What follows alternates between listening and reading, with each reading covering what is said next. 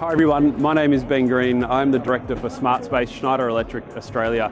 I'm here today to talk about one of the exciting projects we've just completed and we've turned it into a 3D building for an experience like no other. Let's have a look. We've got the entire building 3D modelled, including people on the roof, our solar embedded metering network. But what we're really going to do is walk into each of the rooms and have a look at the technology that's coming to life. In each of the apartments, there's an array of technology. I'm going to focus on the lighting and the energy monitoring. Let's have a look at the lighting control. As you can see here, each of the rooms is lit by automated control. I can have a look at different rooms being controlled with lighting on and off. And we can have a look at what's getting installed behind each switch to make it controlled. Talking about switches, let's have a look at the actual Clipsal range that we've installed into these apartments. It's called the Saturn Zen.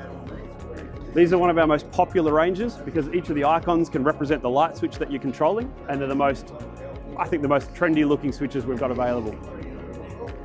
We have a look at the energy metering inside of the apartments. It's really important because there's a full solar array on the roof and we know that the consumers want to be able to monitor and manage their energy usage.